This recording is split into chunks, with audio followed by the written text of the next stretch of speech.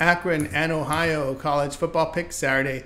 Akron 1 and 3 after their 50 7 road defeat at South Carolina.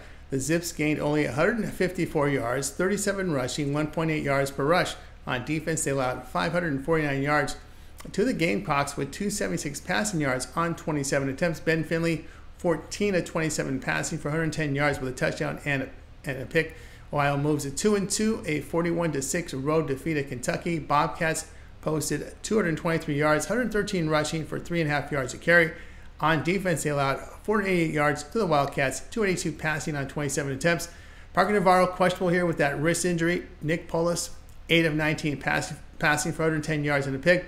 The Zips offense very poor. They're running for 2.6 yards a carry, averaging only 5.6 yards per pass attempt. On defense, allowing over 5 yards a carry on the ground, along with 8 yards per pass attempt, while getting better production both ends of the field. Offensively, they hold teams to 3.1 yards a carry on the ground, just 5.4 yards per pass attempt. They are getting accurate and efficient quarterback play. Play here will be on Ohio minus 12.